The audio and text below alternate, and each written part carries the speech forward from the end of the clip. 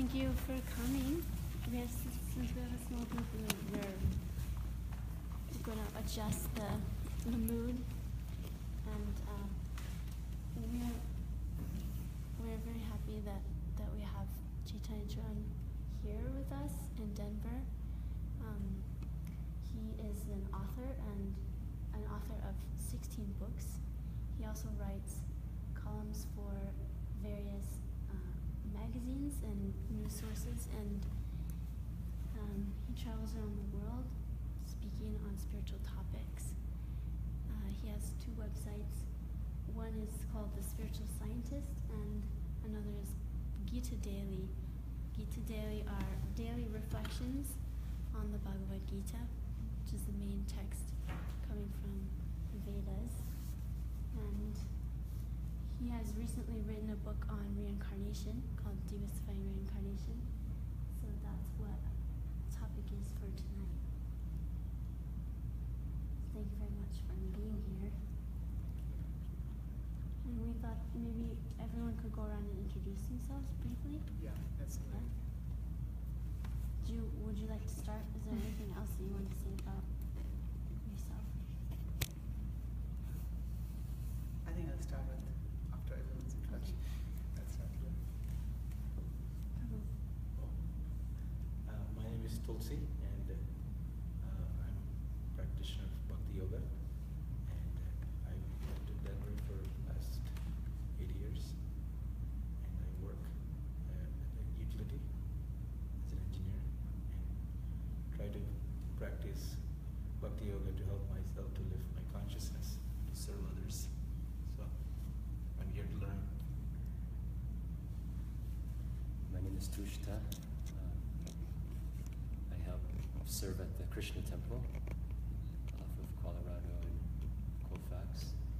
And, uh, actually, I came to Colorado in 1991 after college. This was backpacking across the country from New York to Nevada on a way to protest the nuclear testing at the Shoshone Land in Las, in, right outside of Las Vegas. It was a whole group of activists.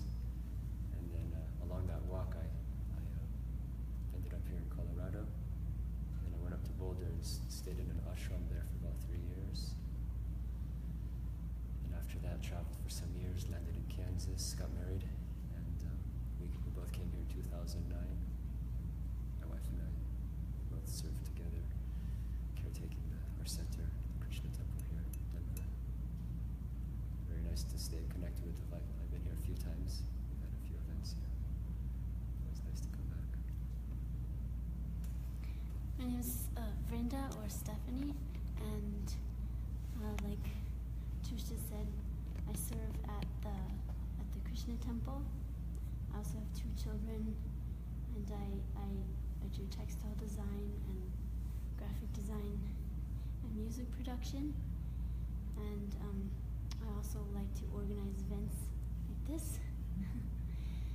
so um, yeah, we've been in Denver for eight year, eight years, and She just produced her first CD, so she can tell you about it later. I'm Niteshri. Um, I've been traveling around for a bit, but along with Tushta and Vrinda, I serve at the Krishna Temple here in Denver, and along with a, cou- a couple of other people here. Um, I've been a yoga practitioner for most of my life, and uh, it's good to be here with you today. Her mom was doing yoga when she was in the womb.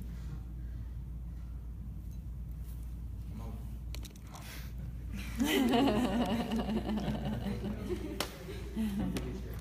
my name is uh, Amala, and um, I'm a student monk at the uh, uh, Denver ISKCON Temple, the Krishna Center we have, Bhakti Center. Um, is also my my sister. We uh, we grew up doing yoga and and uh, going to Kundalini retreats and just remember my my family being very open minded to spirituality and although grown in a growing up in a Roman Catholic family, uh, they're very accepting of, of my lifestyle in Bhakti Yoga, and so we feel very supported um, here. So it's really nice to be among all of you like-minded souls and sharing this common essence. So thank you. Uh, my name is Amy, and I work as a yoga instructor here at Vital, along with Jen and some others. Um, always honored to have guest speakers here, so thank you very much for being here to share your wisdom. You've been instructor here for how long? Oh, not very long. A practitioner for since 2004, but a teacher only recently. Hi, I'm Leslie Hennett. I, um, so my spiritual training has been in the Traditional yoga and Kundalini Vidya, and I've been in Denver for about a year and a half. Um, so kind of taking classes here at Vital, I've really appreciate it, and I always love a good satsang. And in my day job, work in the world, I'm a natural medicine doctor, so I do Chinese medicine and healing and work with women in that way. I'm Jen, and uh, I'm the yoga instructor here um, at Vital. I've been teaching here for um, about a year, um, but I've been teaching yoga for about two years. Um, and actually, you came to my um, my uh, first yoga training uh, with Access with Derek. Oh, yeah, Derek and Yeah. Yes. Okay, that's Um, and a few years ago. yeah, a couple of years ago. I think it was 2017. No, 2015. Nice. Yeah, so I was able to visit uh, with Derek at the um, the temple and had um, one of the, the feasts that you have on Sun- I think Sunday nights. Sunday yeah, night feast. yeah, yeah. So I enjoyed that um, quite a bit, um, and I'm just always curious about new things related to spirituality. My name is Melissa. Um, I just recently moved here from Rhode Island, and uh, I was studying and teaching in Rhode Island for about four years um, after I graduated from college, and um, I've been practicing yoga and meditation since I was a freshman in high school. um, kind of spontaneously, bhakti started to seep into my life, and so um, just trying to follow that, follow um, my heart, and I'm really grateful for all the people that I've wound up being with. So thank you for letting me join you. I'm Dr. Jeff. I just moved out here from New York City. Spent two years out there. Uh, a year in New York City, Ashram, and uh, a year at Krishna Balaram up here.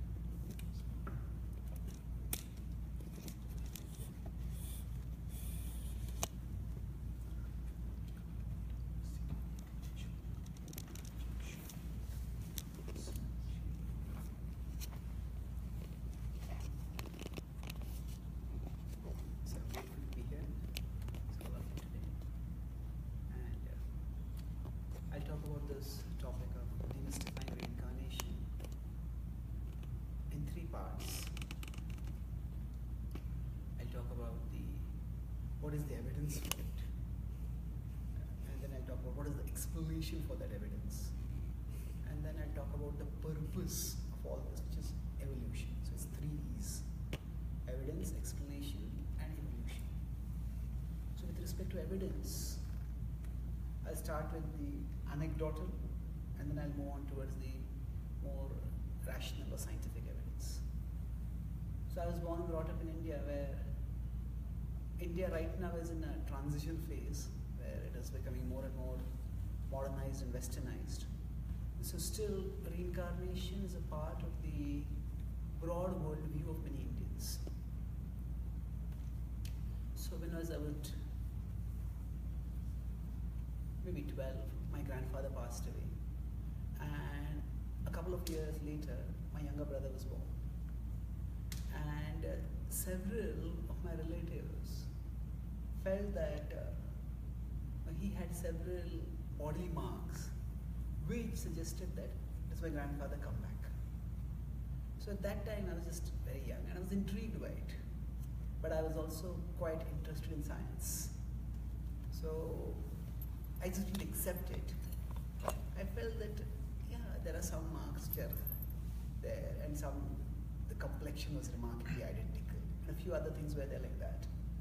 But so I didn't accept it, but I didn't reject it either. Also, I just was curious about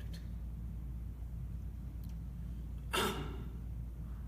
then, over the years, I started becoming more of a activist. When I was in college, I did my engineering uh, from a prominent engineering institute in India. And while I was studying there, I felt that I should also contribute to society in some tangible way. I was more interested in science as a search for knowledge, as a search for understanding. I used to read the biographies of scientists, not just to understand what they discovered, but what, how, what, how they lived and what was it that made them tick. And I was very fascinated by science as a means to higher understanding of life, as a means to living a more purposeful life. So during my college days, I, I chose engineering because I felt engineering was more practical. But at the same time, also there was a lot of peer pressure in India. Science is not as lucrative a career as engineering. And I found that there were many students who were actually intellectually much more brilliant than me. But I found that their life, in a deep sense, was not as meaningful as I had expected.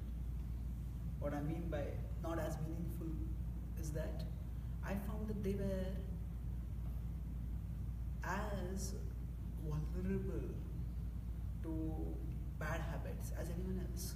My idea was that I had, maybe I could say, almost like a simplistic or romanticized idea of scientific knowledge. I thought that if we find out how the world works, how things work, that would be so exciting and so fulfilling that that would be such a higher joy. It would transcend the lower pleasures. So one of the students who was three years senior to me, he was a he had been a university topper throughout his engineering career. Have eight semesters. In all the eight semesters, he had come first in the whole, not just our college, but the whole university. So brilliant.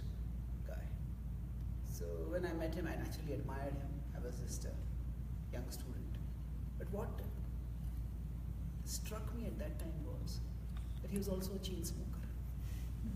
Now, I knew many people who used to smoke, but I found his smoking disorienting. Because I thought he was so brilliant that he can figure out complex electronics and telecommunication stuff that takes so much time to figure out. But why can't he figure out something so simple that smoking is going to hurt him? So after that, he he passed out and he in the campus got the highest paying job in the history of our entire college. And unfortunately, in the first few months of his job itself, he was diagnosed with advanced lung cancer. Within a, within six months of taking up that job, passed away. So it is tragic at one level. At another level, I also felt that there is somehow the search for scientific knowledge is not leading people to a meaningful life. As one of our, one of my professors, I was in a top engineering college. One of my professors, he committed suicide. It was a big shock at that time. Suicide was not so common in India, and we found that he had some frustration in his life, but he was also a brilliant person. So I, I realized that. Uh, that scientific knowledge itself it's very powerful in terms of providing uh, technological facilities but in terms of providing a meaningful life a fulfilling life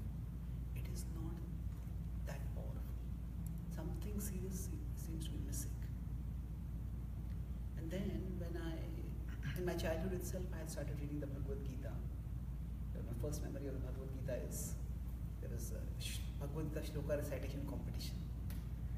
and I participated in that. I won a prize in that. At that time, I read about the soul, and I was intrigued. Something that survives beyond death. And as I said, it was normally understood. So it was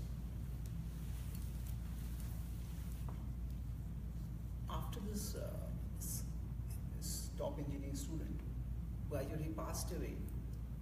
So at that time, it struck me somehow that whatever meaning we construct in our life, I had a goal in my life that I wanted to be uh, number one in my class. I was always among the toppers, but I was never the top, the top at the top alone. Here this person is at the summit, and yet this ruined his life. So that was the time I started exploring what is it that actually brings meaning to life.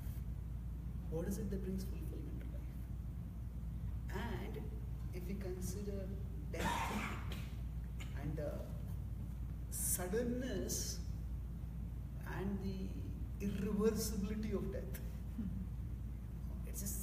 almost like uh, we are living a normal life and uh, say all of us are sitting here and talking or we are all playing a, say as Shakespeare said, this world like a stage and we are all players on it. And suddenly some player disappears from the stage. So I realized that at that time, not in a, not with as much clarity as I'm verbalizing now, but I had the sense that death is the ultimate frustration of life. Death makes everything meaningless. We just live, and every major decision in our life we consider it so meaningful. Should I choose this career or that career? Should I choose this job or should I choose this job? Should I, you know, have a relationship with this person or that person? All these decisions, we feel that they're important, they're meaningful, they're going to shape our life. Beyond it all, at a particular point, which we don't know when it will come, just everything is finished. So either life is utterly meaningless and we somehow try to construct meaning with life till the meaninglessness comes out eventually in the form of death. Or maybe there is some other meaning to life which survives beyond death. So, in the studied science, I also saw science as a search for understanding, a search for meaning. As last year I had been to Cambridge, I was invited there to speak on science and spirituality, Cambridge University. So while going along that place, we passed by the place where the tree where Newton is said to have seen or felt the fruit falling. Of course, it's not exactly the same tree, it's a descendant of that tree several hundred years ago. But uh, millions of people before Newton had seen that fruit falling. Not that fruit, but fruits falling. And most of them, just picked up the fruit, ate it, and went their way. So Newton asked, what made this fruit fall? And that's how he postulated the theory of gravity. So I saw science as a means for understanding, understanding the world around us. And in science, we see, we have a certain, based on certain observations, we come up with a certain theory of about how things work. And when we come up with further evidence, which uh, question, which makes that theory questionable, it is not that science rejects the theory. Science first tries to, you know, neglect that evidence. Maybe it is some ba- bad data. But if that evidence keeps coming repeatedly, then science tries to revise its existing theory to uh, explain that which is not explainable with the current theory. So with the same, the Newton's laws of motion, they are what is called as classical physics. And uh, that helped us to explain the world around us. That led to mechanical engineering, that led to uh, trains and planes and spa- even spacecrafts being developed. or at least the idea coming up. But then the same theory it is found that at the very small, the microscopic level, at the very large, the macroscopic level, it didn't work. And that's how we had quantum physics being developed to explain the behavior of microscopic particles, and we had relativity developed to explain, especially uh, the motion of large objects whose speed approaches the speed of light. So, without going into the technicalities of these theories, I'm just focusing on the principle that when we face some evidence that does not fit into the theory, theoretical framework that we have, if you look at the method of sciences, it expands. So, William James is a prominent uh, psychologist, and he makes this point that science advances at its fringes. Now, what is within the mainstream body of science, where the advancement is there, that advancement is primarily in terms of technology. We can use the knowledge that we have to make things better, to make devices faster, as is happening nowadays. But science, in terms of gaining better understanding of things, that advancement happens at the fringes. So, whatever is partially explained or is not explained by the current theories of science, in trying to explain that, scientific knowledge expands. So, similarly, we have a particular view of life. That view is we identify ourselves with our bodies, yeah, we have our identities, and then we try to construct meaningful lives through our professions, through our relationships, through our achievements.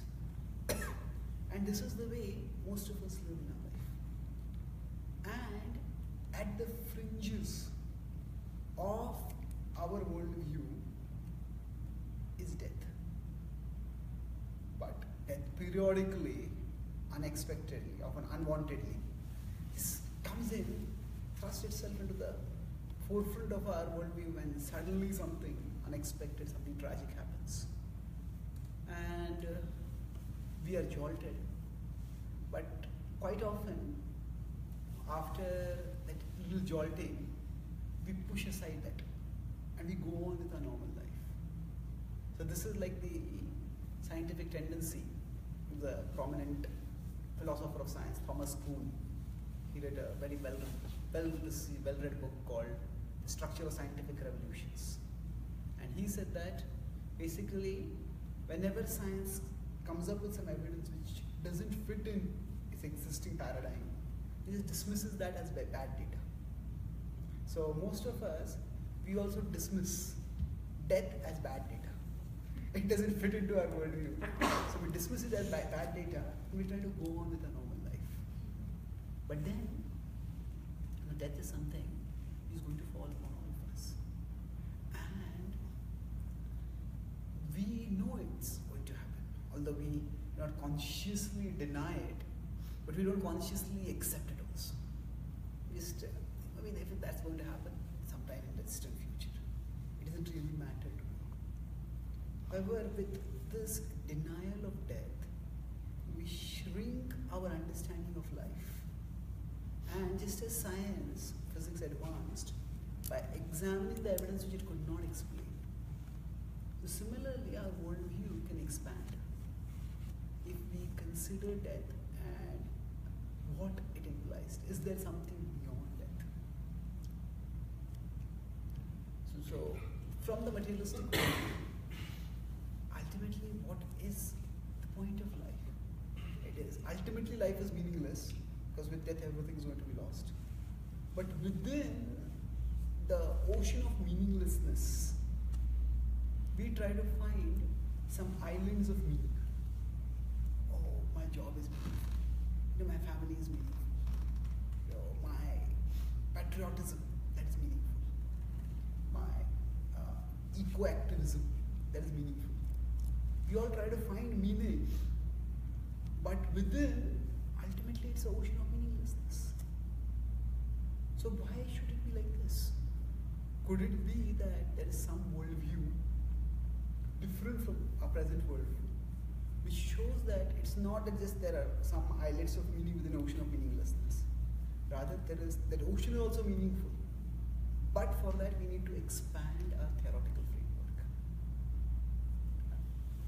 And reincarnation is what can help us, the concept of incarnation can help us to expand our theoretical framework. So, what is the evidence? Is there any evidence? Like anecdotal, say some people feel that their, their relative has come back or whatever. So when I started exploring this a little bit more seriously, so after I graduated from my college, I started working as, uh, as a software engineer in a prominent multinational company.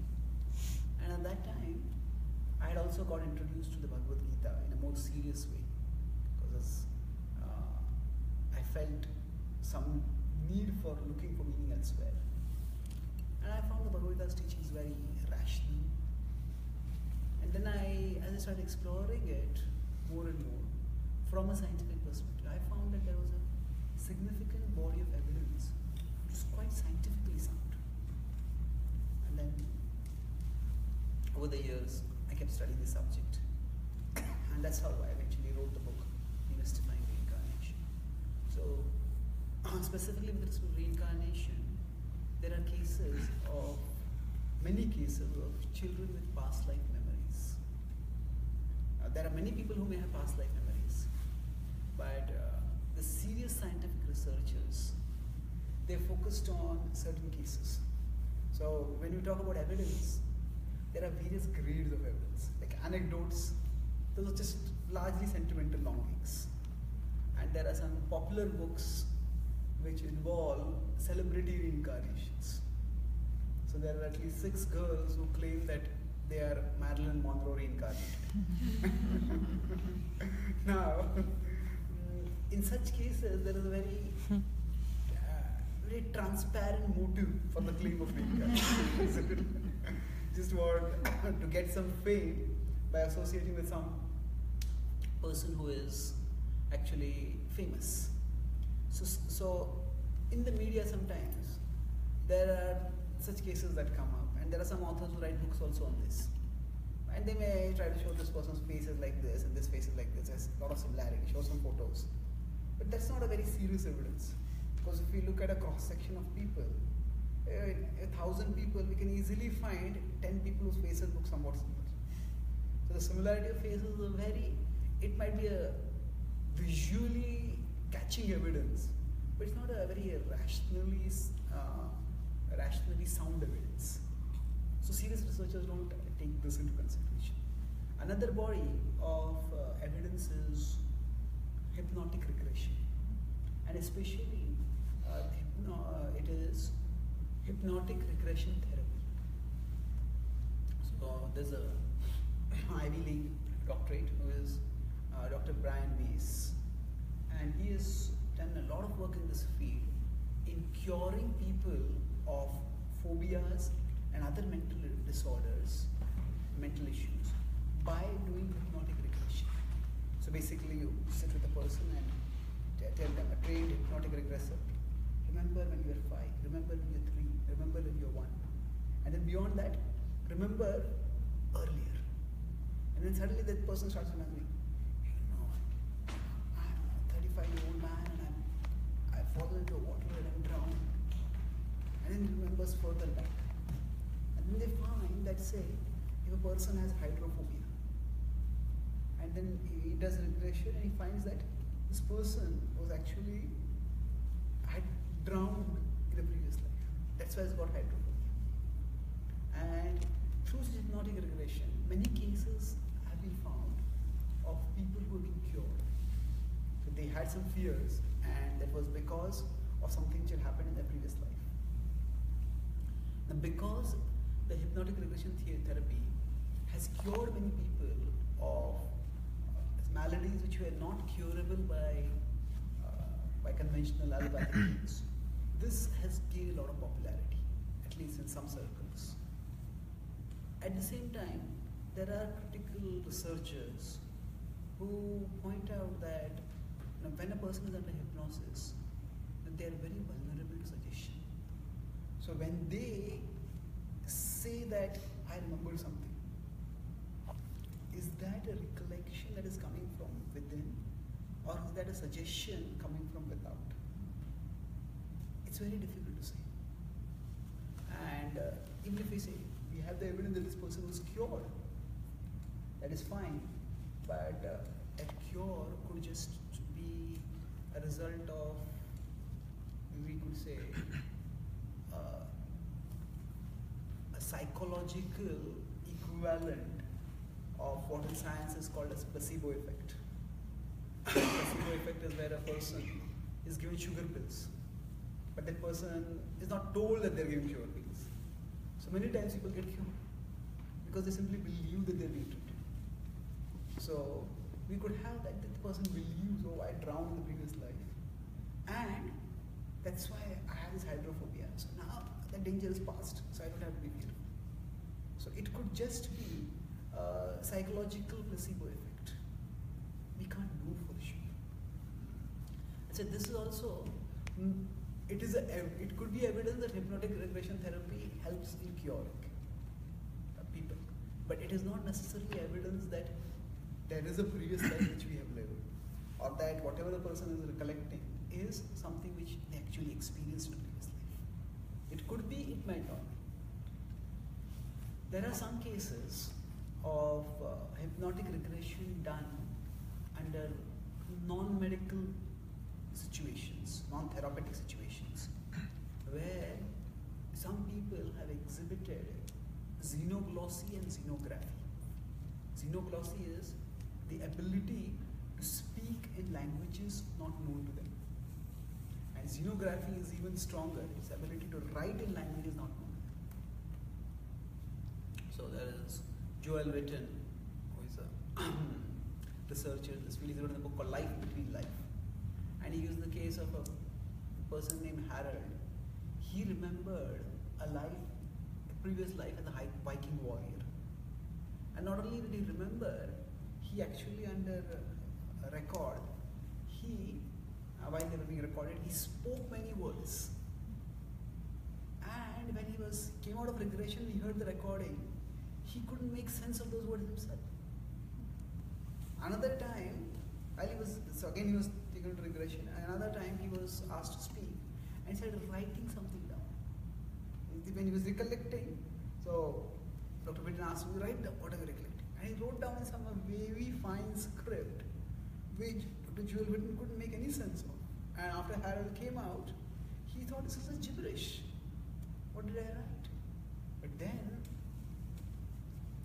uh, Dr. Whitton decided to investigate and he showed that script to that whatever he had written to lingu- linguistic experts. They found that that was perfectly uh, perfectly constructed sentences in a language that had been extinct for 1800 years.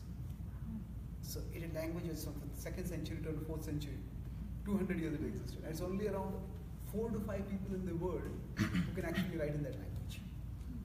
So, and Harold had no kind of training in that. In fact, when, as I said, he didn't even recognize, he thought it's just gibberish.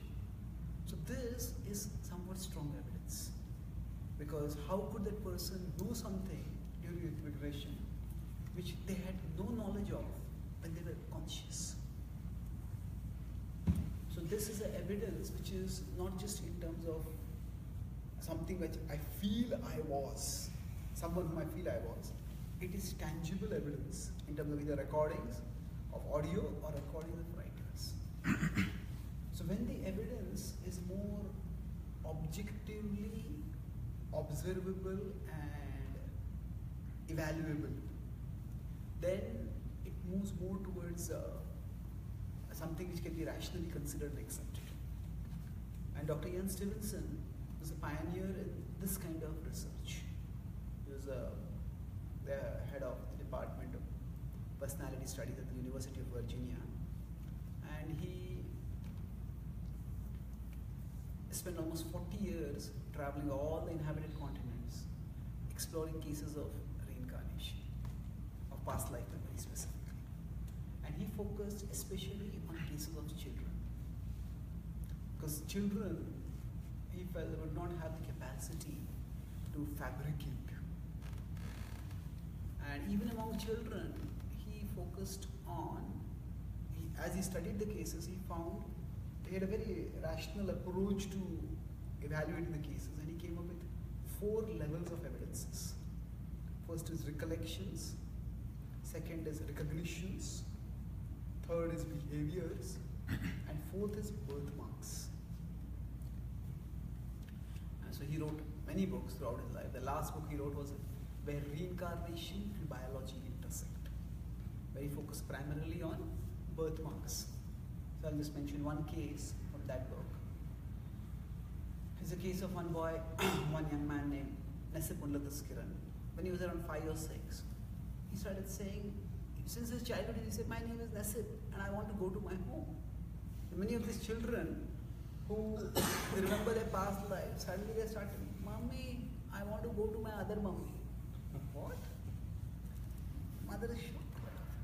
When they start keep insisting and they say, My mother is, she's my mother and this and that.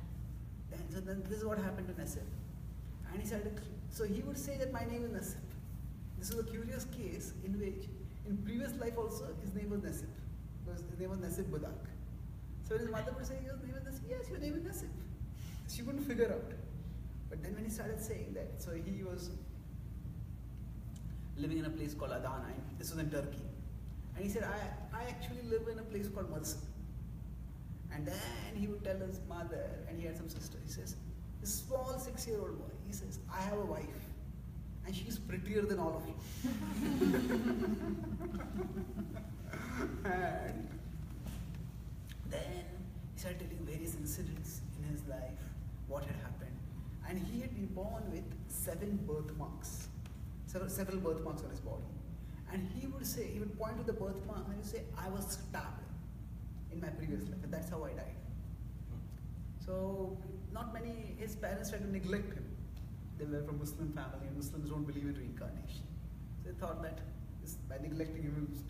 But then, as he grew older, he started insisting that I want to go to Mersin. If you don't take me, I will go alone.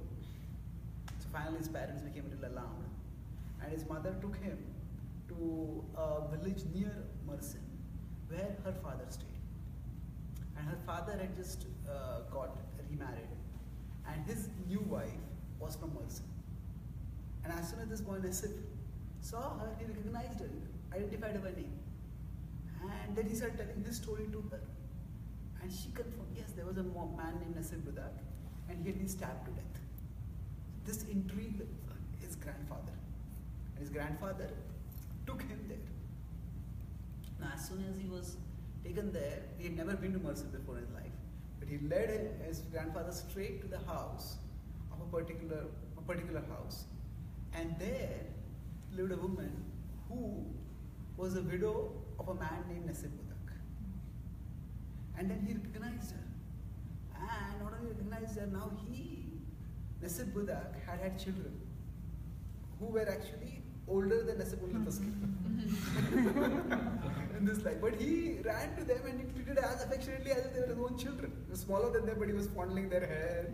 And his, not, only, not only that, when he went to their house, and now Nasib Budak's wife, the widow, she had remarried. So when Nasib, the small boy, he saw the photo of his previous wife with her husband. He got so angry, he picked up the photo and wanted to tear it apart. Said, You are my wife, not anyone else's wife.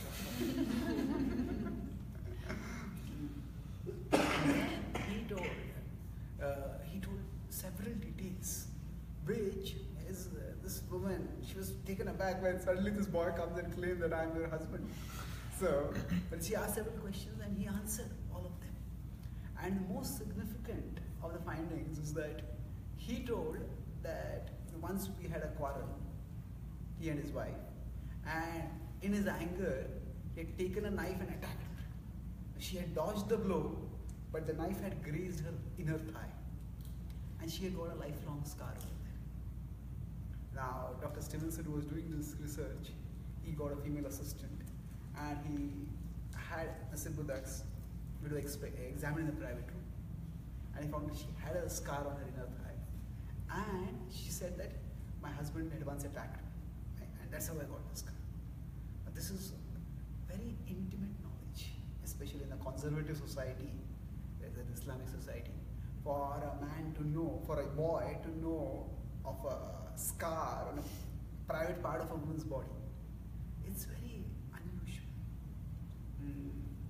Most significantly, I said, Nasib had several birthmarks, and because so what had happened was Nasib Budak, in his in the previous life, had been a very quarrelsome person and violent also. So once he had drunk, and in the bar he had had a big, he got into altercation with another person. Probably that person was also drunk, and they started fighting, and that person had taken out a knife and stabbed him repeatedly, and he had been rushed to a hospital, but he had died soon because it had been a murder case.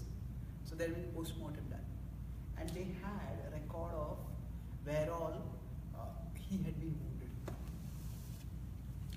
And when they examined the post-mortem report, they found that the location of the fatal wounds on the body of Nasib Abudak correlated precisely with the birthmarks on Nasib Unlutaskiran's body. Now these birthmarks, many people have, many of the children have, they are not just uh, some simple, somebody has a small scar, small mark on the body, some pimple, something like that. They're like very distinctive marks. So, for example, a person who might have been run over by a truck and died. So, I have a PowerPoint which I have photos also. In the book also I have photos. So, basically, they may have something like if they run over on the thigh by a truck, then their whole body is normal, but just at the thigh, there is a circular shrinking, a ring of shrinkage. So Mm. it's a very distinctive and unusual birthmarks. So, so Ian Stevenson divided the human body into using XY coordinate system into 120 parts, and then he wanted to check how precise is the correlation. So between the location of the fatal wound in the previous life and the birthmark in this life. And if there is a precise correlation, the probability of that is 1 by 120. If we divide the body into 120 marks, 120 sections, or 120 coordinates. And if there are 6 correlating birthmarks, as happened in the case of Nasib, the probability of 6 of them correlating is 1 by 120 raised to the power of 6. Which is an extremely low probability. So this, evidence is like this. They very strongly point towards the reinca- reincarnation as the only rational explanation. How could this child, as I said, all four are exhibited recollections, recognitions, behaviors, and birthmarks. So, just recollections, okay, that might just be, you might have heard it somewhere, you might have imagined something, you got a guess right. But recognitions, how do you get that right? You might say that might also be guessed. But then, if somebody has precise, somebody behaves in particular way, like a child, being jealous towards a woman who is almost like his mother's age, that's very unusual. And then, even if we somehow try to explain that away, what about the birthmarks and the birth defects? So, William James said that,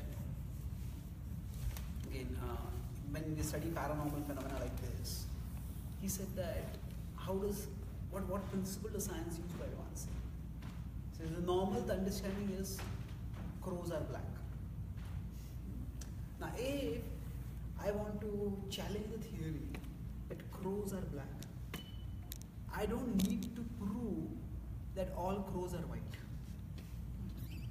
Even if I can observe one crow that is white, that is enough to challenge the idea that all crows are black. Similarly, uh, normal understanding that most of us have in our life is that we are our bodies we live for some time, and with death, life ends. That's the materialistic world. Now, to challenge that, it's not necessary that every one of us has to remember our past life.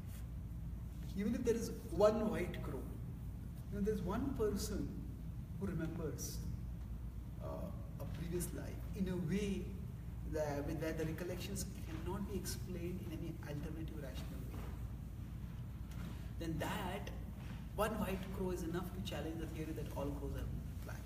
That one case of a of a past life memory is enough to establish the idea that there is something more to us than our material bodies. That more is actually the soul. And the soul is what reincarnates. The word reincarnation means to reincarnate. Karma is flesh. Re is again. So to come back again in flesh. So reincarnation means that we return back in a body, a fleshly body. And what is it that reincarnates? The Bhagavad Gita explains that that is the soul. So the body is like a, we could say a vehicle. Let's say if we are going on a long journey, and if, uh, say, we have hired a vehicle, and somehow the vehicle gets damaged, the vehicle doesn't work properly. So we say going cross cross country, across America, from the east coast to the west coast, and we have hired a um, vehicle from a company that if that vehicle breaks down, no, we would just have the vehicle towed to the company where there are their centers there, and we would take another vehicle, and we would move on. So the vehicle is a tool for us. If the vehicle works, we use it. If it doesn't work, we just use another vehicle and move on. So just as this vehicle is a tool for us when we are traveling, the body is like a tool for us on our evolution.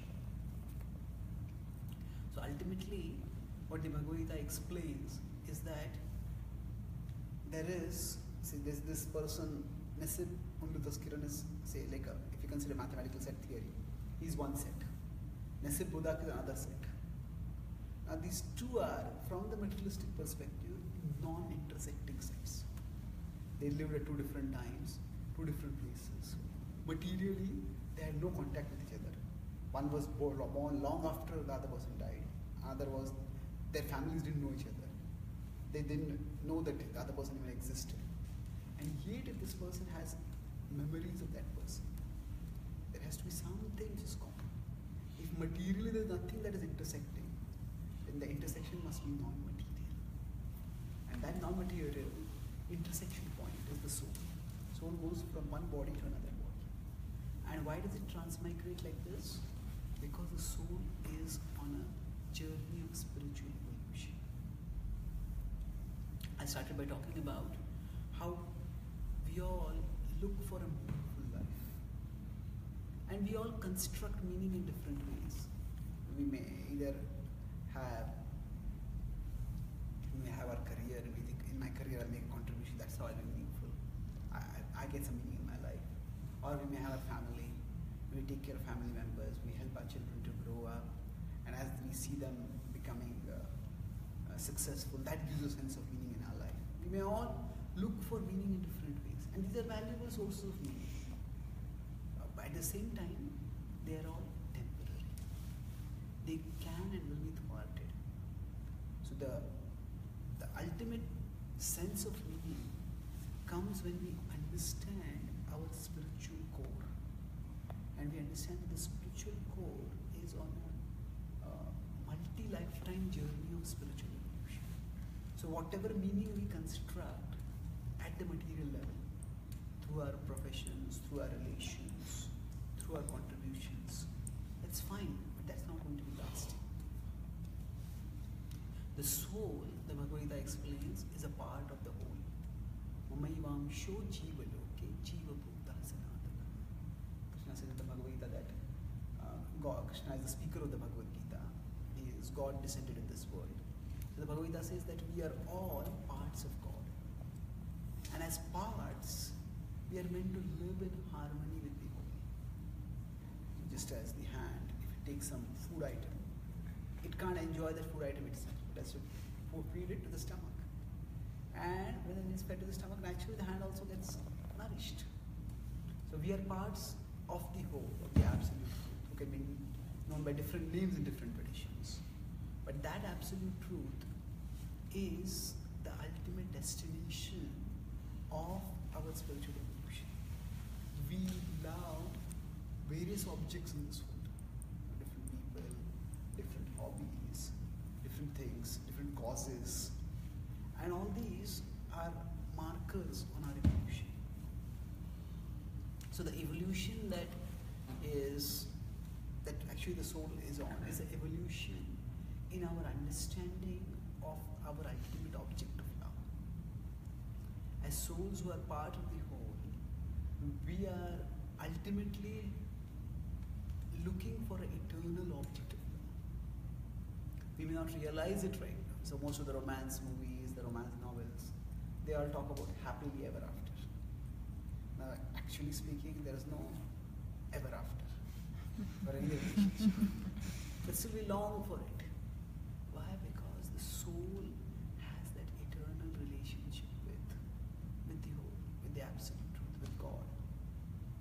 And not knowing about that relationship, we look for it. We look for enduring relationships with other people as well. So the as the soul evolves in its understanding of who is the ultimate object of my love, that evolution in understanding is what leads to the soul's elevation. And ultimately, the soul's liberation. The soul is going through various material bodies on its multi-lifetime journey.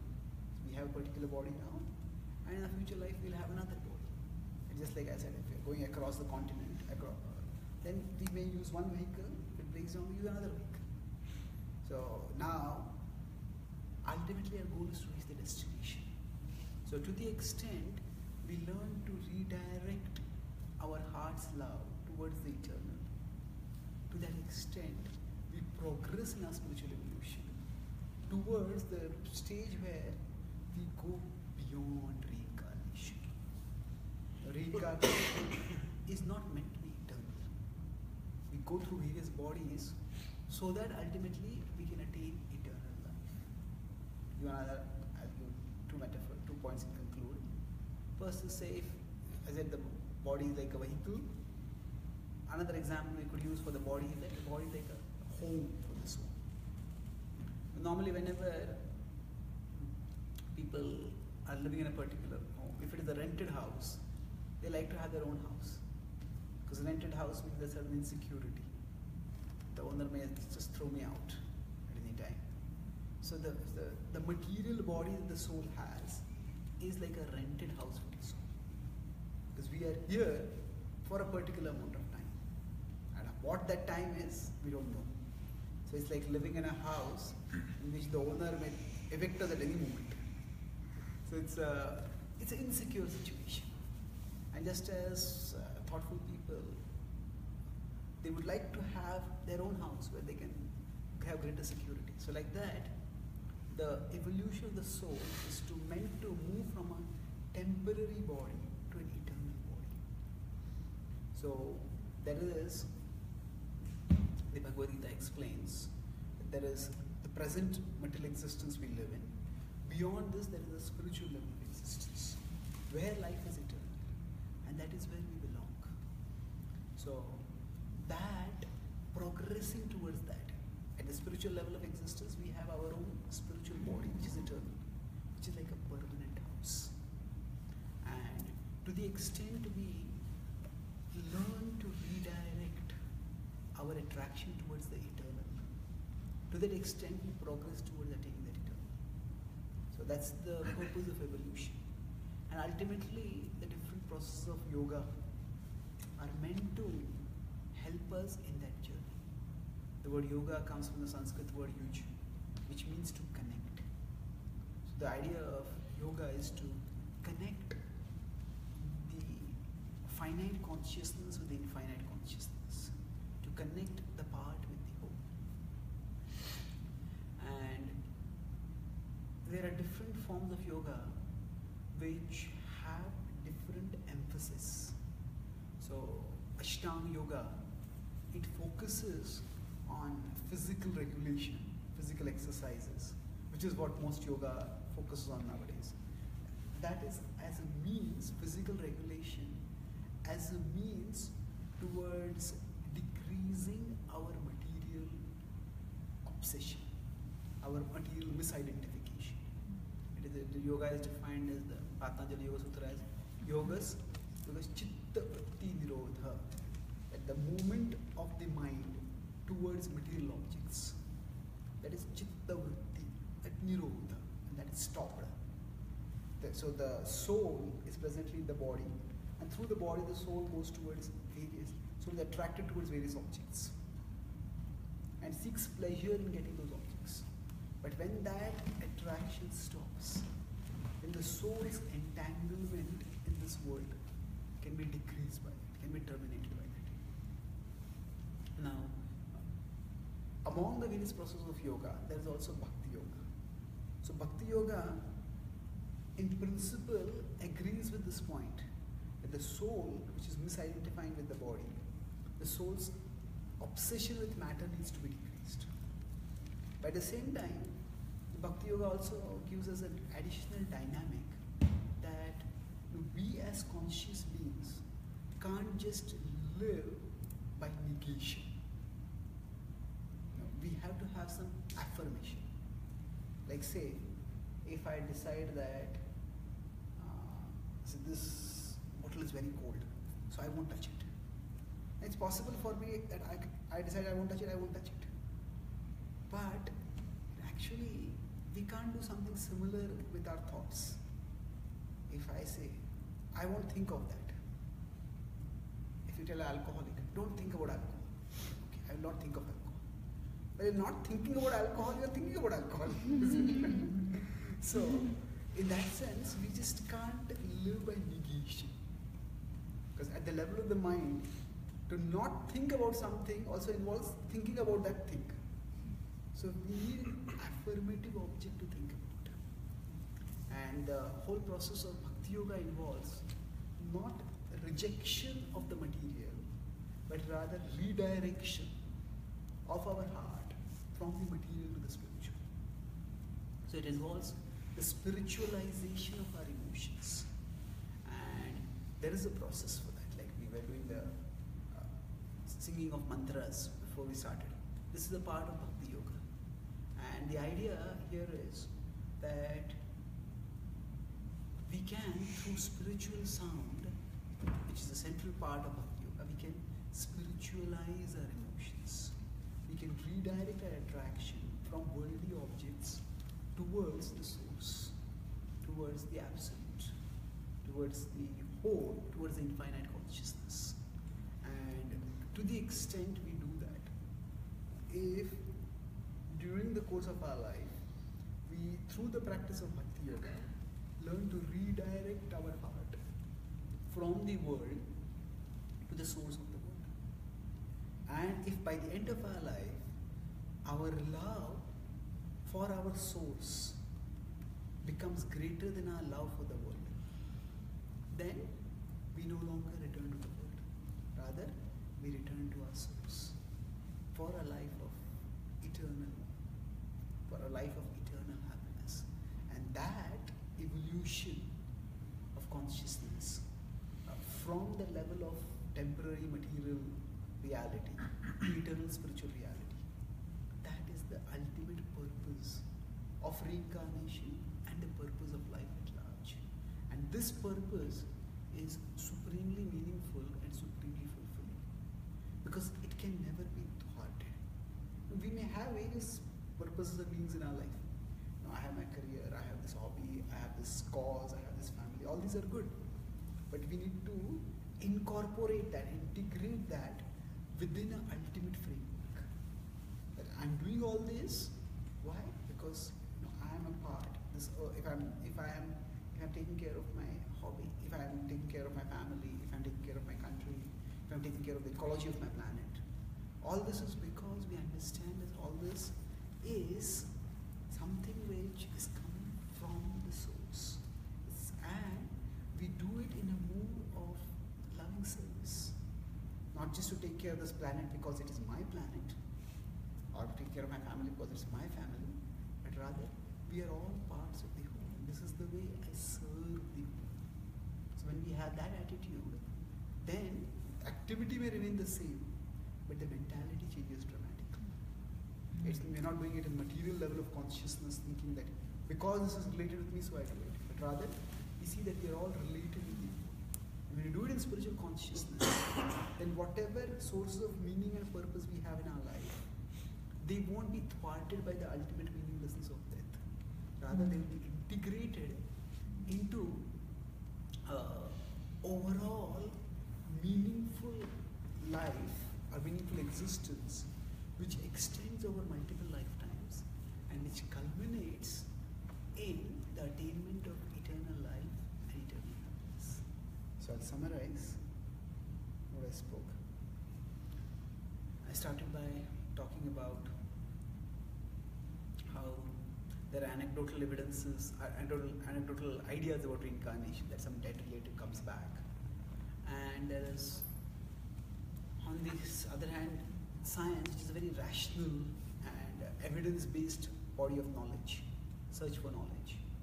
But still, the scientific search for knowledge doesn't necessarily lead to a meaningful life for many people. Because even people who are good in science, good in technology, still sometimes they succumb to self-destructive habits because they don't have a there could be many reasons but one reason is that it doesn't really give them a deep sense of meaning in life some fulfillment but what what is death is the ultimate meaning destroyer in life so when we face some evidence which seems to destroy the meaningfulness of our worldview we have two alternatives either we just uh, sideline that evidence and go on with our normal worldview, calling that as bad data. Or we try to expand our worldview. So science advances by, at its, by examining the data at its fringes. Like Newton, when he observed the fruit falling, what makes it fruit fall? That was the question of why do things, how do things work? Was a question of what is the meaning of it all? But when uh, particles moving at a very microscopic level, at a very macroscopic level, couldn't be explained. The science expanded its theories. And so by the expansion of those theories, then now we have a better understanding of the world around us. Similarly, rather than rejecting death as bad data, we try to expand our world. And uh, reincarnation, and especially the past life memories which point towards reincarnation, they can be evidences for expanding that worldview, for, for prompting us towards changing our theoretical framework of life. I discussed various levels of evidences, anecdotal evidences, then celebrity reincarnation cases, and then hypnotic regression therapy. And these are these are relatively speaking stronger evidences. Hypnotic regression is uh, possible, but it could be a recollection, it could be a suggestion. We don't know for sure. There are if there are cases where there's xenoglossy and xenography, foreign languages being spoken or written, then that's more tangible. But the most tangible evidence is with respect to past life memories among children, where there are four levels of evidences recollection, recognition, behavior, and birthmarks and birth defects. So I talk about the case of Nasir Budak, who incarnated with Unlutaskiran, and how he exhibited all these four things. And actually the six correlating birthmarks uh, are a very strong biological tangible evidence. And similarly, his knowledge about uh, the scar on his wife's ex-wife's body or his behavior in terms of dealing with his wife or his children, they are not so easily explainable, explainable within the materialistic world. So just as one white crow is enough to challenge the idea that all crows are black, even one case of a person remembering a past life is enough to challenge the idea that we are simply our bodies and death is the end of our existence. So this is, I talked about three points, evidence, explanation and evolution. This is the evidence. What is the explanation for this? The Bhagavad Gita offers us a model of the self, model of the human person where we are not just our bodies, but this body and the soul. So for the soul, the body is like a vehicle. And if a vehicle gets damaged, the soul simply, just as we take a different vehicle, soul takes a different body. Or like if we have a house in which we are living, if our tenancy period gets exhausted, gets exp- expires, then we just go to another house. So the soul moves from one body to another. And the explanation would be that at a material level, as Nasir Budak and Nasir Kiran are non-intersecting sets. So the intersection between them is something non-material. And that is the soul. So, the, so if if there is a soul which reincarnates, then that is the most rational explanation for past life memories. And what then uh, focus on evolution. What is the purpose of reincarnation? It is to evolve in our understanding of life and ultimately of what is life's purpose. What is it that we are meant to live for? So evolution is in our understanding of what is the eminently worthy object of our love, object of our devotion and dedication. And uh, the Gita explains that we are parts of the whole, and ultimately we are longing to love an eternal object.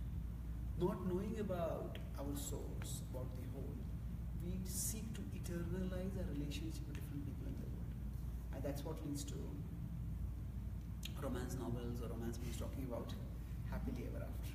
But that happily ever after can be it can be actual it's not just fantasy, it can be actualized when the finite consciousness, three souls, unite with the infinite consciousness. That is the whole. And the purpose of reincarnation is redirect our love from the world to the source of the world. So all the yoga systems are meant for that purpose. The system of Ashtanga Yoga focuses on bodily regulation so that we can get emotional uh, de-infatuation from the world. And Bhakti Yoga takes this forward and says that not just de-infatuation from the world, but rather we want to develop uh, devotion to the source of the world. So just as we maybe we say for the soul to simply be detached is not possible because the mind has to think of something. And if you say no, this world is I will be detached from the world. I won't think about the worldly objects. But even in not thinking of something, we're thinking of something. So we need a alternative object to uh, devote ourselves to. And in process of bhakti yoga, say involved uh, involving activities like chanting sacred mantras, this is meant to elevate our consciousness, to help us increase our devotion for the source of everything, source of the world, source of us all.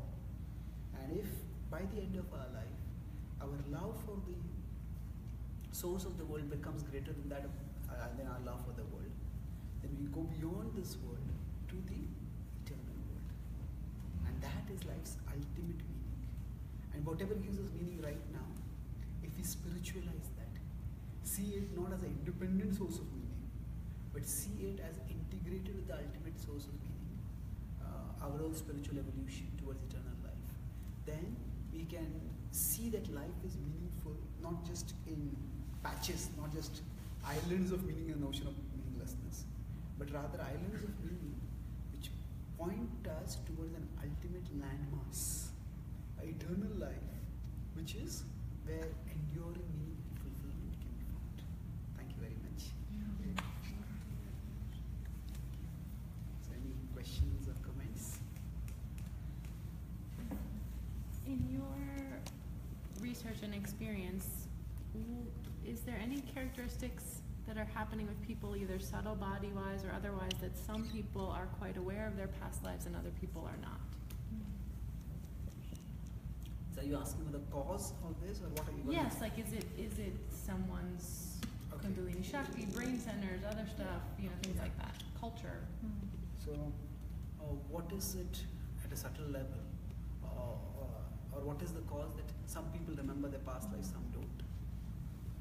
Different causes. The main cause generally is the uh, abruptness of death, Hmm. because of which the event of death is not processed by the soul. Mm. See, most of the cases when people remember their past lives is when they sudden death, either by Mhm. drowning or Mm. murder or whatever else. So basically, uh, it's something like I just came from America, from India two days ago. Hmm. So I'm still having what they call as jet lag. so the body has come from physically from one part of the world to the opposite part of the world. But the body is cycle. The body bio, bio, biorhythmic cycle is still identifying with that place. So like that, in some cases, the soul moves from one body to another body. Just like we have a jet lag, we could say there's soul lag. so the soul continues to identify with that previous body. So, like subtle body trauma, essentially. Yeah. Subtle body trauma. So basically, uh, the children usually remember this. Uh, they start, they may be remembering it before, but only when they start verbalizing, when we can come to know about it. Uh, there's a very, funny case actually of a boy in a small Indian village. He, as soon as he started learning to walk, started walking out of his home and walking out of his village. And his parents, what are you doing? He, he learned to walk, he, he learned to speak a little later, so he couldn't even speak. But the parents had to watch him constantly. And then, when he started speaking, he started saying that, you know, I live over there in that village. I want to go and see my mother and father. And the direction he was walking was in the direction of that village. So basically, when the children remember, we don't know. But generally, when they start speaking, we come to know. Usually, it happens from the age of three, four, sometimes two, and it goes on to the age of six, seven, eight. And overall, after some time, the soul more or less gets integrated into this body. And then the past memory, life memory either disappear or they decrease in their intensity. There's a case of American boy, um, James Leininger, and there's a whole uh, book and a documentary about him. And so he he used to scream in mortal fear in his childhood. His mother was petrified, and he just uh, he would say something like, you know, plane on fire, man can't get out, burning, like would scream, and then his parents, uh, his father was a complete uh, disbeliever in reincarnation. His mother was also didn't really believe in, but when she saw her child was having so much trauma, she was in some way I need to help her. So they took her to, and they took this boy James to uh, past life therapist Carol Bowman, who specializes especially in childhood memories. And then through especially they asked him to speak. He started speaking about how he was a World War II pilot, and he was in a, a part of American expedition against Japan, and in a place called Iwo Jima. He had been attacked by Japanese anti-aircraft fire, and he had drowned, been hit directly. And they actually found a lot of evidence. There was a person, again in this case also, his name in his previous life also was James. So they actually found a lot of evidence correlating, and eventually his parents, uh, they took him to the place in the Indian Ocean where he had drowned. And there, it was like a tremendous emotional outburst. He cried, cried, cried. And after that, he calmed down. And then his, then after that, his, uh, his, his uh, screams and his fears all completely disappeared. And then he- even if he remembered, it was with, the, with a distance, with detachment. So his mother has written a book called Soul Survivor. That is the name of the book where her whole story is given. Uh, but the point is that if the event of death is not processed, then because of that, our existence is not just the body and the soul. It's body and soul, but the body itself, there's physical body and there's the mind. And the mind actually goes with the soul from one body to another. And that's why in the mind, when the trauma is there, that trauma can come out. And once the trauma is processed, the children, children calm down and they move on with their lives. In some cases, it may be because of some other factors also. Just like some of us, in our life also, we see that some people have outstanding memories, some people have outstandingly poor memories. So, this variability or this variety in memory capacity, that's just, uh, uh, we could say, it is different in different people. And from the philosophical perspective, it's a result of karma. So, like there's some people by some karma, they may remember their past lives also. So, one karma is that suddenly they died, but there could be some other cases also. But generally, it is uh, it is because of the suddenness of death.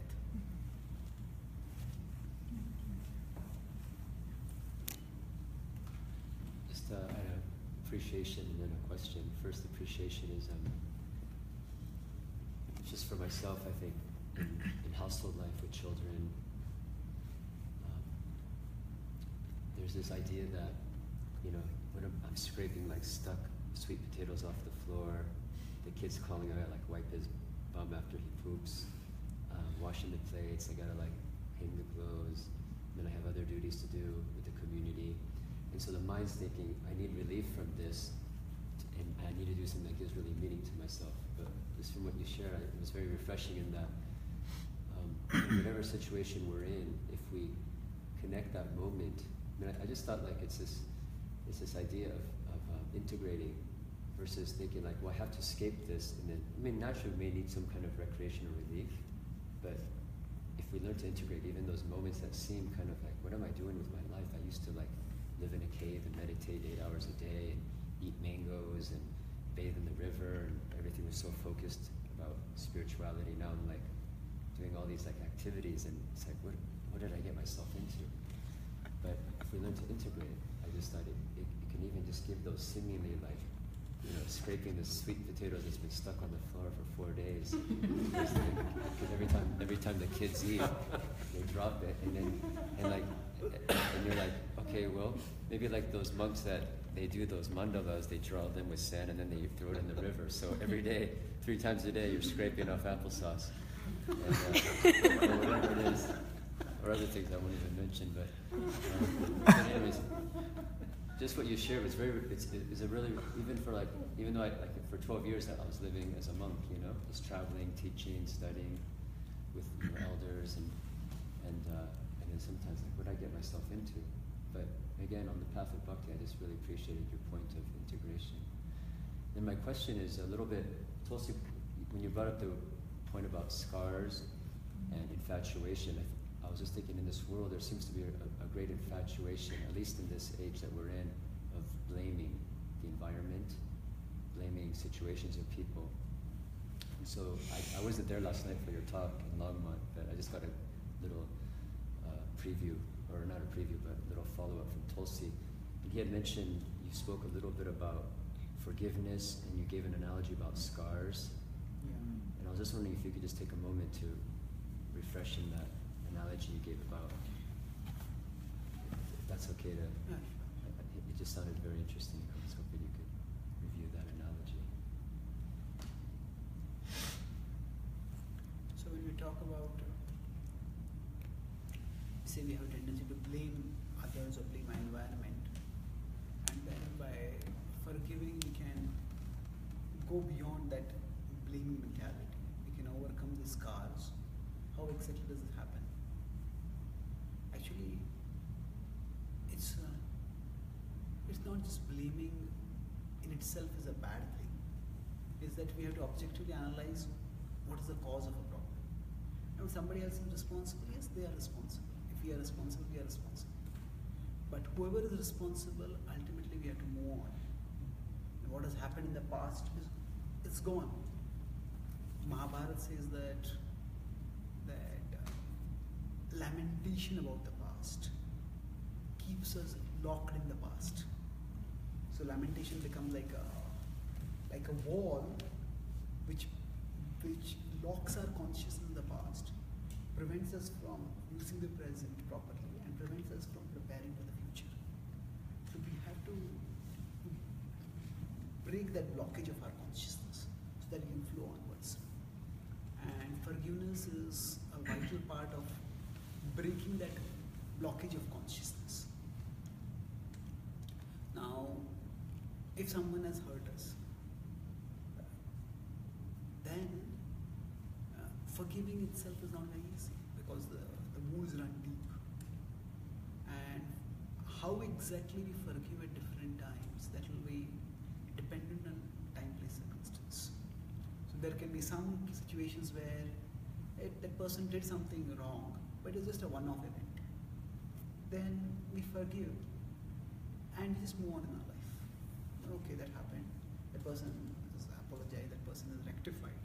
There's no need to hold that one mistake forever in their face and let that come in the relationship. So that's that's when uh, they themselves have rectified and apologized, and it's one-off event. But sometimes, so so if we just hold it back, then it's it chokes the relationship. It chokes us from going onwards.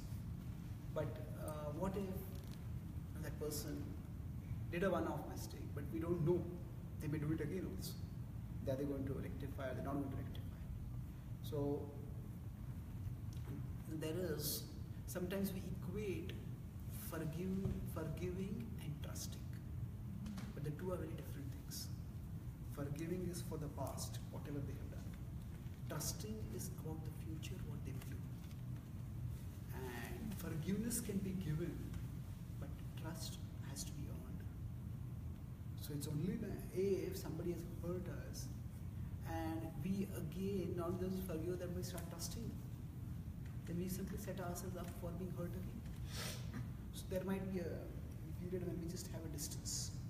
You know, we don't reject the person, but we can't just accept them at the same level where we were before the hurt happened, before we were hurt. So then at that time, uh, we just uh, forgive but don't trust. And over a period of time, by observing how they conduct themselves, they may move towards the first level. We may able to forgive and just move on in our life. The trust also comes back over a period of time. But the other could be that that person is just uh, not only uh, done the wrong, but sometimes they don't even apologize. They have no intention of uh, correcting the wrong. They're just going on doing the same thing again. So at that time, if we just simply keep forgiving them, then that means simply we are hurting ourselves by that. We're setting ourselves to be hurt by them. And at that time, uh, we may need to take some action. That action can be done in a vengeful mood or it can be done in a dutiful mood. So when it's done with vengefulness, then that still keeps the negativity within us. Get back at you. And what happens is, if we if we let that vengefulness stay within us, even if we get back at that person, vengefulness becomes a habit of the mind. And then after that, we'll find some other wrong which someone else has done, and then we'll become vengeful about that. So instead of having that vengefulness, so there can be forgiveness as a as a as a attitude of the mind, or the disposition, and there can be forgiveness as an action. So in, in a sense, we we can forgive a person. Okay, you did this wrong. I'm not going to hold it against you. But at the same time, this wrong, you're going to hurt other people. Uh, you're going to hurt me also. And ultimately, if we consider the law of karma, whatever goes around comes around, and you are going to hurt yourself also. So we, we have to stop that. So we can do it in a sense of duty that I have to protect this person. I have to prevent prevent, prevent this person from hurting me or hurting others in the future. And then whatever, sometimes we may have to take an action also for that purpose. We may do that. It's a legal action or punitive. But we do it in a non-vengeful mood. It's more in a dutiful mood. And so now in this case, once we do this act of forgiving, so forgiving is not just an emotion that we feel. It's a decision that we make. That, you know, I'm not going to hold this, I'm not going to let this hold me back anymore. I'm not going to let this uh, choke me. This is, a, this is a chapter of my life that is over. I've done what I could to deal with it. Now I'm going to move on. So then when we do that, then there is not so much of a emotional investment in that. Or not investment, there's not so much emotional fixation in that particular happening. So just like if say I have a wound on my hand and it's a festering wound, then if I touch it or someone touches it or some it touches the floor or touches the wall, it's pain. Now if it is a bad wound, even after it is healed, some scar will be there. But sometimes some scars are just dried up. They're there, but they don't hurt. They're just there. So like that, if we have been badly hurt, the scars will scars will be there for lifelong. But after we forgive, then basically it's like a festering wound becomes like a passive scar. We remember, but because there's no emotional fixation, there's not so much agitation by it. Okay, that is something bad happened to me. And you know, yes, we learn in life, we grow in life. But as long as you're not done, you're not forgiven, then that recollection of that hurt is like a festering. It keeps agitating us. So in that sense, forgiveness is it's not about forgetting. It's about remembering in a new way. Remembering in a new way which does not involve the emotional fixation, which does not involve the agitation which would otherwise feel. And that can be when we can remember in a new way, then we can actually learn from it and we can grow in our life. Otherwise, we stay stuck over there emotionally. Does that answer? Yeah, thank you.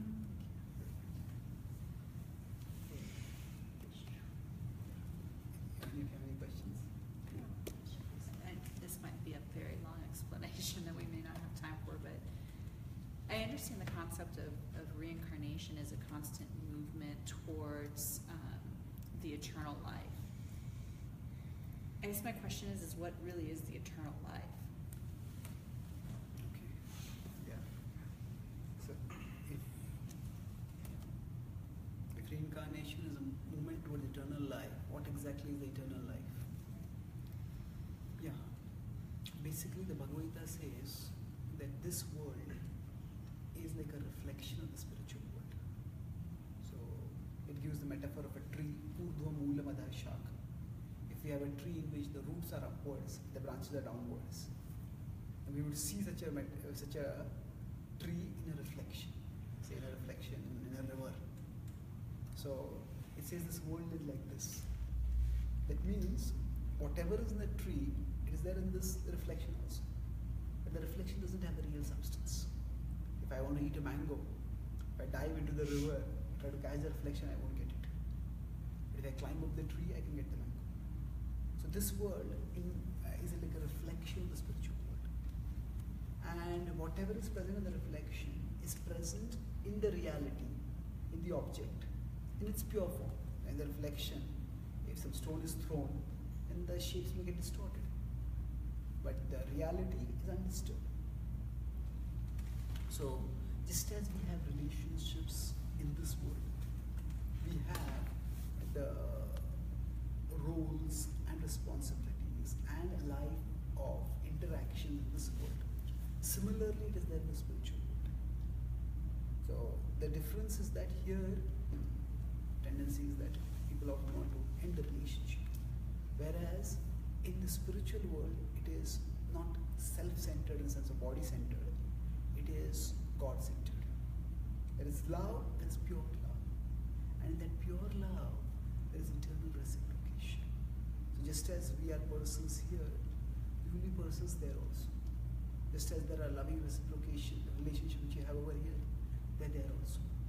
But because the loving relationships here are tainted by selfishness, so often there are problems, there are conflicts. And ultimately, because everything here is temporary, there is great frustration. And I'm going to contrast in the spiritual world, because there is no selfishness, and because everything there is eternal. So the relationships never know any, there's no frustration in the relationships. The other hand is eternal fulfillment in those relationships. So basically, the eternal life is also a life like the life in this world, but without the misery and the temporariness of life in this world.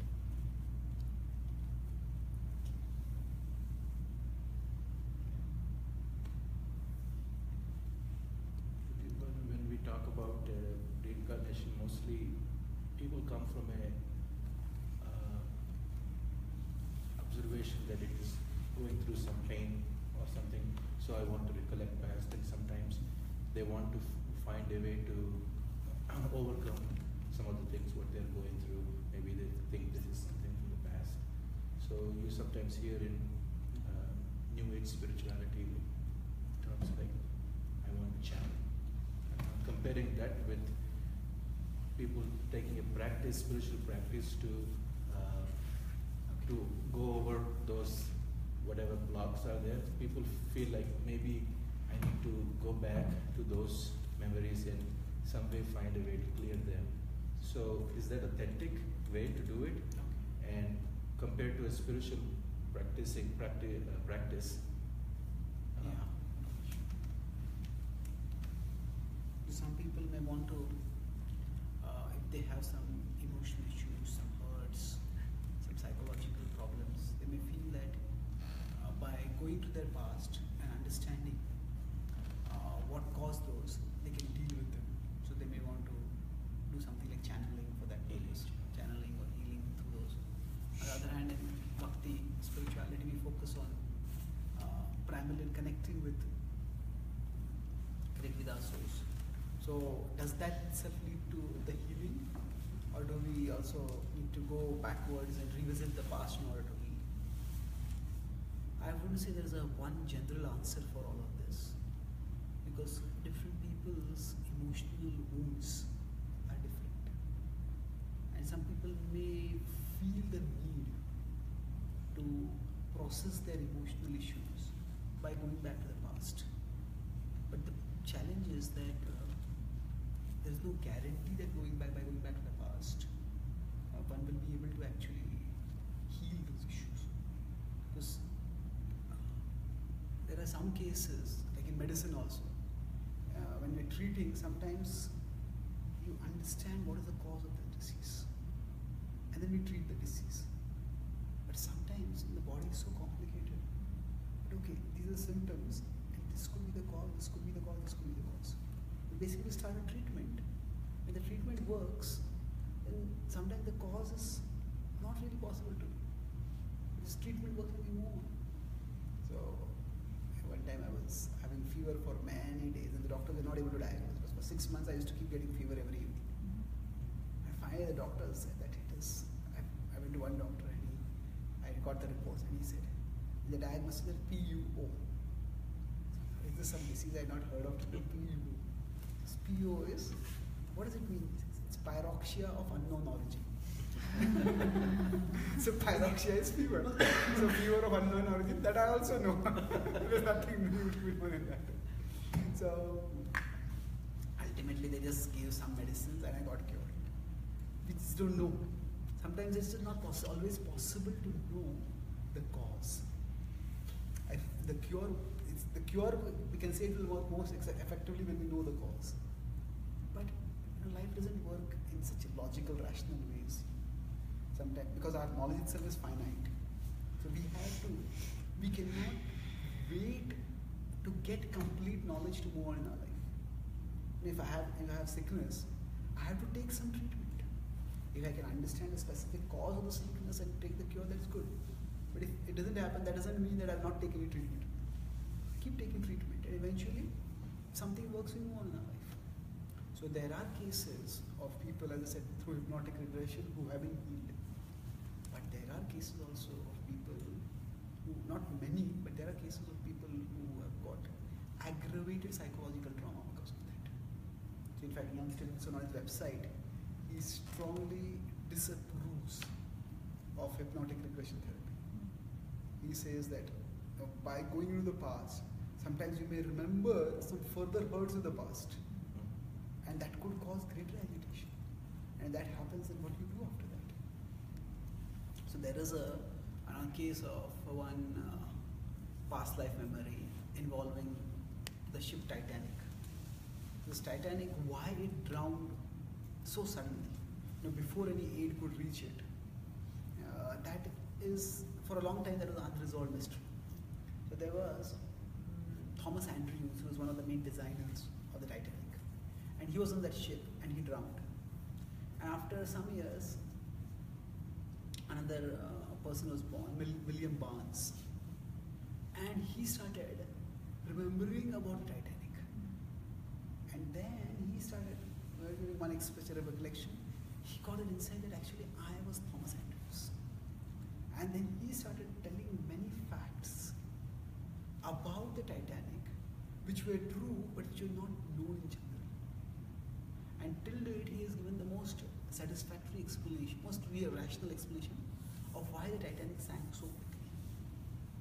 Now, when the Titanic was made, it was it was advertised as if the, like the ship which even God can't sink. That is so strong. So this William Barnes told that as Thomas Andrews, before they were going on their maiden voyage, he was testing the ship, and then he was at different points he was just like testing the hull by hitting it with the hammer. And at a few places, when he hit it with the hammer, boom, like a loud noise came which is like resonance. And then when he pointed this out to one uh, black, he was that's the name of the person. He was one of the main financiers for this project, and I told him that this these points of resonance, they are where the ship's hull is very vulnerable, and we need to thicken the hull of the ship to prevent this resonance. This black, he just dismissed. He says, you know, we already spent enough money. The whole cruise is all set up, and we have to go. So he, they, he was pushed over his obstacles, objections, and he went on the ship. And eventually, the iceberg that hit the Titanic, it didn't just hit it; it hit at one of the resonance points. And because of that, what happened was, if the Titanic had just got one hole, it would not have sunk so fast. But it had to multiple cracks.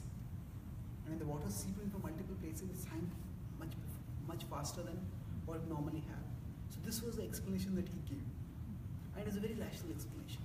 So uh, there are many people who are, not everyone, but people are convinced that William Barnes was actually Thomas Andrews reincarnated. But I'm not focusing on the, that case, the evidence whether it is the point which I'm making is that this William Barnes, he is fully convinced that I am Thomas Andrews reincarnated. But he has no interest in, in anything spiritual. Although he has that understanding that I was this person and this person, that means there's something which continues on beyond bodily identity. He says, the mission of my life is to clear the good name of Thomas Andrews. so, the remembrance of the past is now guaranteeing that it will either lead to emotional healing or whether it will lead to, it will comprise the prompting for spiritual growth.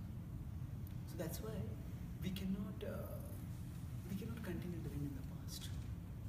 So it's best to try to move ahead in one's life and uh, if we consider the mind to be like a, if you consider the mind to be like a, say a wall on which graffiti has been written. Now, if a graffiti has been written, then the the police or the authority will try to find out who wrote the graffiti over it, try to catch them and be disciplined. But in some cases, you just don't, can't find out who wrote it. The important thing is when you remove the graffiti. So what do you do is one is scratch it out. But if it's too much then the solution is overpaint it. Overpainting graffiti goes off. so the process of bhakti yoga is like overpainting.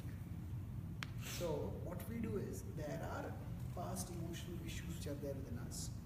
But if we just uh, put in spiritual impressions in our mind, through singing, singing songs, through going to holy places, through beholding the sacred forms, through getting in spiritual wisdom, all this also creates impressions in the mind. That they, these impressions, as they become more and more strong, they overpaint the these impressions. And as those past hurts go further and further in the background, they hurt us less and less. So the much safer and more uh, reliable way of emotional healing is not to go back and revisit the past hurts, but rather to move ahead and to get more emotionally enriching experiences.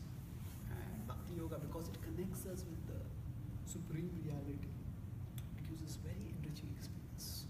And that way we can